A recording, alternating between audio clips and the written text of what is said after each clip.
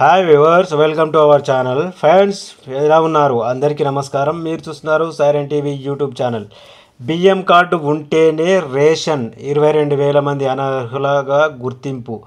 వీరికి డిసెంబర్ నెల సరుకులు లేనట్లే.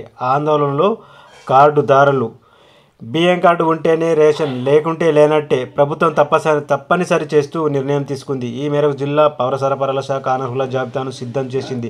జిల్లా వ్యాప్తంగా ఇరవై రెండు వేల మందిని అనర్హులుగా గుర్తించింది. వీరికి డిసెంబర్ నెలకు సంబంధించిన సరుకులు మాత్రం ఇవ్వడం లేదు. వైసీపీ ప్రభుత్వం అధికారంలోకి వచ్చినాక కొత్తలో నవశకం పేరుతో గ్రామాల్లో వాలంటీర్ల ద్వారా సర్వే నిర్వహించింది. ఇంటింటికి తెల్ల రేషన్ కార్డులు ఉన్న లబ్ధిదారుల సమగ్ర సమాచారాన్ని సేకరించడం అయితే జరిగింది.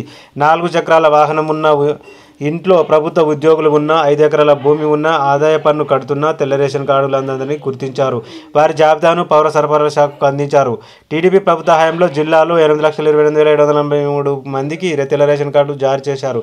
అనర్హులకు తెల్ల రేషన్ కార్డులు జారీ చేశారని వైసీపీ విపక్షంలో ఉన్నప్పుడు ఆరోపించింది. వైసీపీ ప్రభుత్వం అధికారులకు వచ్చినాక తర్వాత నవ నవశకం పేరుతో సర్వే చేపట్టింది. తెల్ల రేషన్ కార్డుల స్థానంలో కొత్తగా బియ్యం కార్డులను జారీ చేసింది.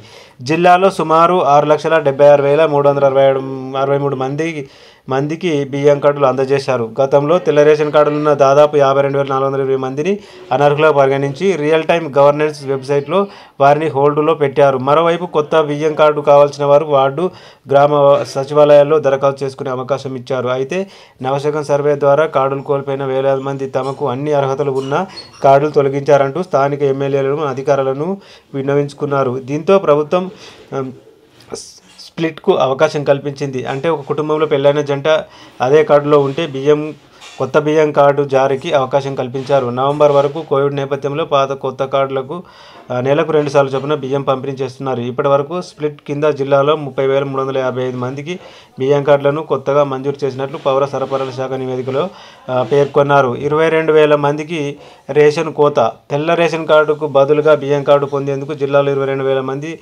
వరకు అనర్హులుగా ఉన్నారని స్ప- స్పష్టమవుతుంది.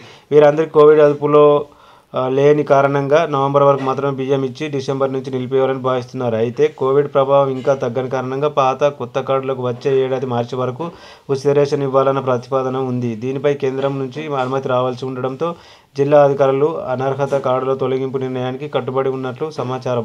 కొత్త బియ్యం కార్డులు పొందాలంటే తప్పనిసరిగా నవశకం సర్వేలో పొందుపరిచిన నిబంధనలు అమలు చేస్తుండడంతో లబ్ధిదారుల్లో ఆశలు సన్నగిల్లుతున్నాయి. అర్హత ఉంటే మాత్రం పది రోజుల్లో ఈ రేషన్ కార్డు అయితే ఇస్తామని చెప్పడం జరిగింది. ఈ తీసివేసిన కార్డులో మీది ఉందో లేదో చూసుకోండి.